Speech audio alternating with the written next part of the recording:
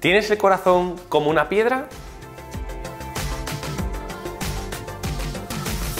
¿O tienes el corazón de barro blandito que se puede moldear? Ese es nuestro día a día.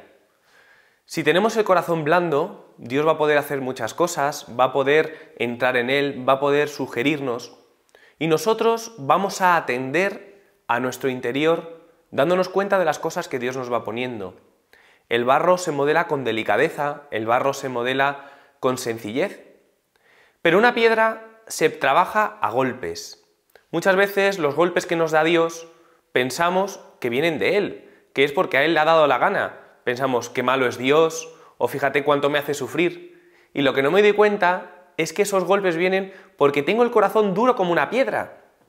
Es decir, que la culpa es mía. ¿Yo qué tengo que hacer? Ablandarme, ¿Para qué? Para que cada día mi corazón se vaya transformando de un corazón de piedra a un corazón de carne, a un corazón de barro blandito.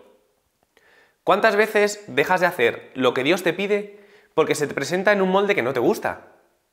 Porque te falta la fe para ver que eso viene de Dios. Vamos a pedirle al Señor que nos conceda esa gracia, la gracia de reconocerle en los detalles más chiquititos de cada día, porque ahí es donde está tu felicidad. Soy el Padre Borja que Dios te bendiga.